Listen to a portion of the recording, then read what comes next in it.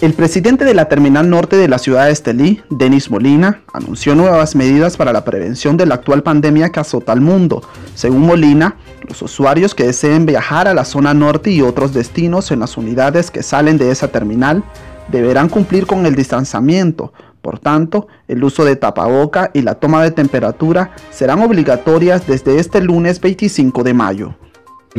Las medidas que tomaremos a partir del día lunes en la Terminal Norte. La salud y la seguridad es un asunto que a todos nos debe involucrar. Con este lema empezamos el día lunes 25 de mayo una jornada intensa de lucha contra el COVID-19 impulsada por la directiva de Terminal de Buses del Norte Termibuses y Cooperativa Cotralet RL. Estamos exigiendo el uso adecuado de mascarillas de protección personal a todas las personas que ingresen a la terminal. Caso contrario, nos reservamos el derecho de admisión. Será obligatoria la toma de temperatura y el lavado de manos.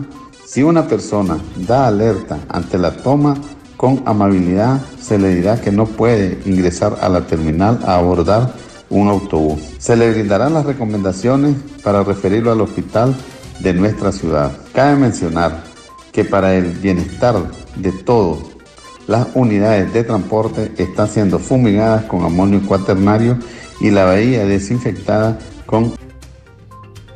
Por otra parte, el lavado correcto de manos con agua y jabón será de estricto cumplimiento antes de abordar la unidad.